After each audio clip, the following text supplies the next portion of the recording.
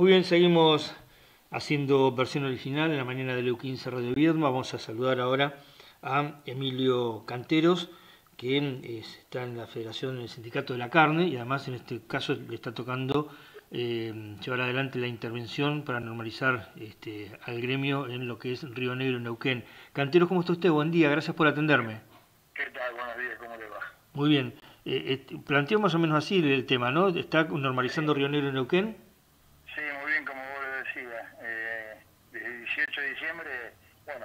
Público conocimiento, llegamos a, a a tratar de normalizar, eh, porque tenemos dos sindicatos, uno a simple inscripción y el otro con personal gremial, que bueno, venían en, un conflicto de hace años por, cuestiones de diferencia de criterio de trabajo, si bien anteriormente en el sindicato que estoy interviniendo yo, que es el sindicato de Río Negro, eh, lo teníamos a Andrada como secretario general, que bueno, a las pruebas me remito y sabe mucho más ustedes que yo la historia.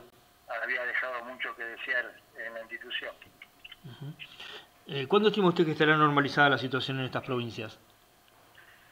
Y mira, yo hoy en día no te podría dar un, un estimado, ¿por qué? Porque, bueno, todo esto de la pandemia y, bueno, y esta restricción y todo que no pudimos andar por la provincia, Estamos retomando recién, después del 10 de junio, que yo fue la última vez que anduve por ahí, tenemos que peinar la provincia, porque tenemos, en, tanto como en Vierma, Río Negro y Neuquén, compañeros de la actividad nuestra que están en otros gremios afiliados, eh, bueno, a falta de la desidia que tuvo, eh, digamos, el sindicato no estuvo presente. Así que tenemos que el laburo nuestro es eh, mandado por nuestro secretario general tenemos que tratar de recuperar.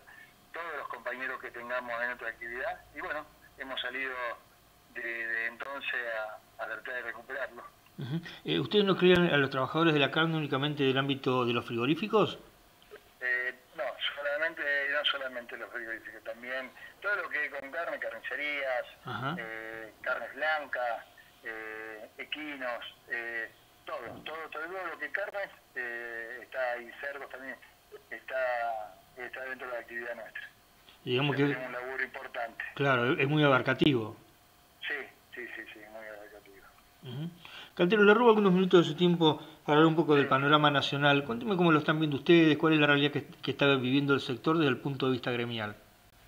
Y hoy en día no está muy, muy bien que digamos, si bien algunos frigoríficos se vienen sosteniendo y algunos mataderos, nos ha complicado en todo lo que es eh, consumo, porque prácticamente con todo esto de COVID el consumo ha caído un montón. Y bueno, y ni hablar la exportación, exportación china y bueno, que han visto ustedes a contexto nacional que por ahí han tratado de, tirar abajo un poco el mercado con algunos cuestionamientos que han pasado con algunos frigoríficos de capital que, eh, bueno, eh, eso nos implica también perder un mercado más o menos un 30 al 40%, que ustedes en la zona eh, lo tienen a Fidevi, y bueno, también ellos ahora están recién queriendo retomar algunas, eh, digamos, exportaciones y eso porque se ha caído bastante. y en cuanto a, los trabajadores en sí, ¿cómo lo están llevando con el resto de que hay mucho trabajador, por ejemplo, se estima en negro, fundamentalmente cuando usted plantea algunos otros rubros que van más allá del frigorífico, hay algunas casi que se denominan economías no formales, porque en realidad son trabajadores de la carne, pero este, no están ni siquiera blanqueados, ¿no? Sí, la verdad que nos llama poderosamente la atención, lo hemos visto en el último recorrido, eh, ahí en Zapala tenemos hay un matadero municipal, igual que también hay cerca de ustedes, a 300 kilómetros más o menos, que está Beltrán, son frigoríficos municipales que, bueno, en el, en el caso de Beltrán tenemos un matadero municipal, los compañeros están nucleados al sindicato de UPCN y cobran como eh, la actividad de UPCN que no tiene nada que ver con la actividad nuestra. Eso por una parte.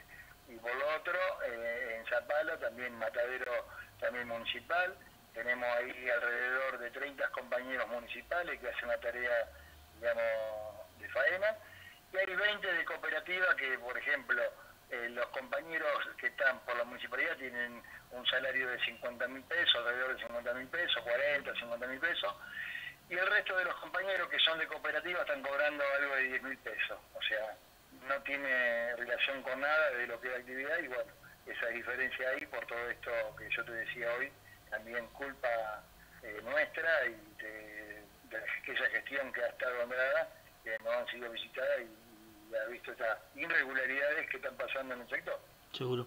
Eh, usted tocó el tema de Fridevi y eh, Fridevi tiene acá en Viedma un componente que le es perjudicial. Uno reconoce la actividad del frigorífico que es un generador de empleos y que además está este, plantado a nivel internacional con el tema de las exportaciones, digamos que yo no sé si usted desde el punto de vista gremial tiene cuestionamientos para con la empresa, pero este, digamos que uno desde acá en Viedma lo puede ver como que un frigorífico posicionado y que ha sido un generador de empleo, más allá, digo, de lo que se puede hablar en cuanto a lo que esté en funcionamiento la relación con el empleado. Pero Frigorífico también tiene acá un componente muy complejo y que es la faena clandestina, y en ese sentido también esto perjudica la actividad de ustedes.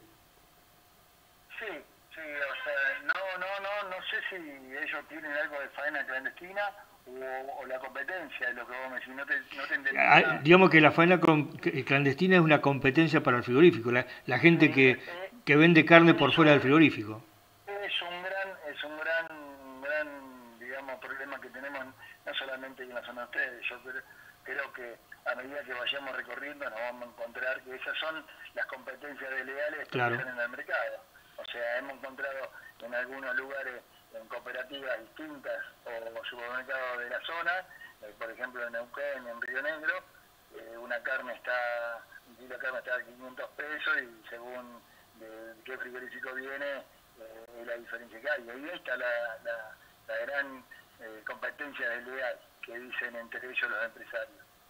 yo creo que nos vamos a encontrar no solamente con algunos frigoríficos municipales, sino que también mataderos propios que tienen esta, esta contienda de, tratar de evadir algunas cosas, pagar menos, salario, y bueno, por eso dejan la carne más barata. Sí, u otros directamente la traen del campo a la ciudad sin pasar por frigorífico, ni carnicería, ni nada. Esto también va en desmedro de la actividad oficial que llevan ustedes, ¿no?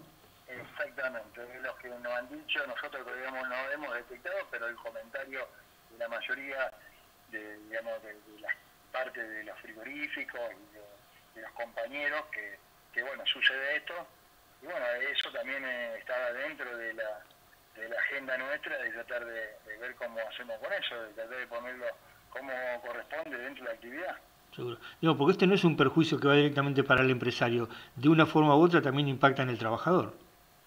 Totalmente, totalmente, porque bueno, eh, con eso eh, va en un montón de cosas, las 931, digamos, aporte a obra social, los sueldos son otros, eh, o sea, no respetan lo que dice el convenio colectivo.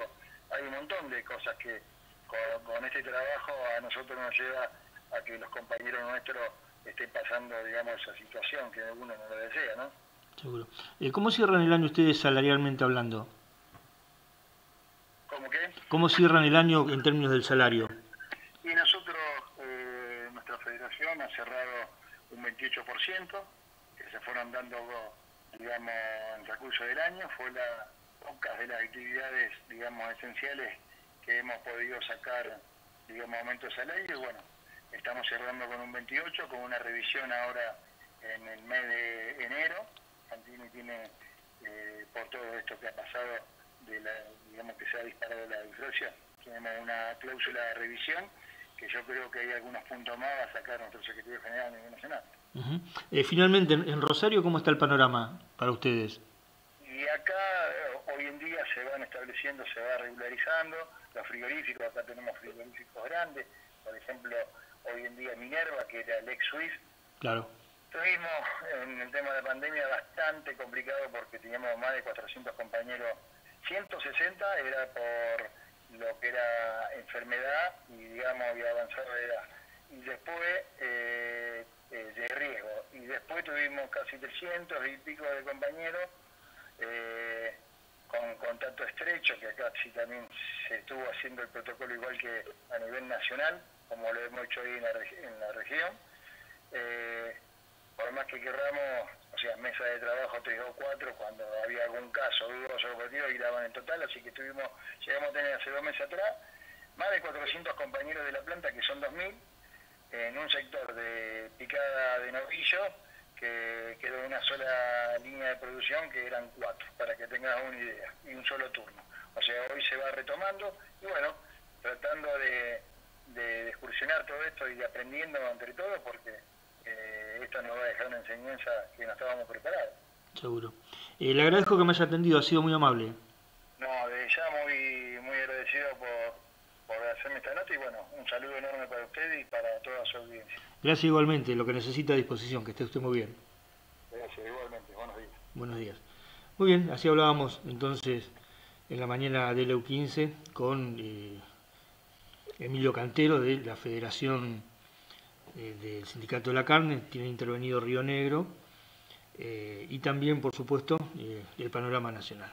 Esto lleva usted de las manos de Cementos del Valle, el nombre del cemento en la comarca, y eh, fábrica de pastas artesanales La Luisita de 25 de mayo 455 de la ciudad de Viedma.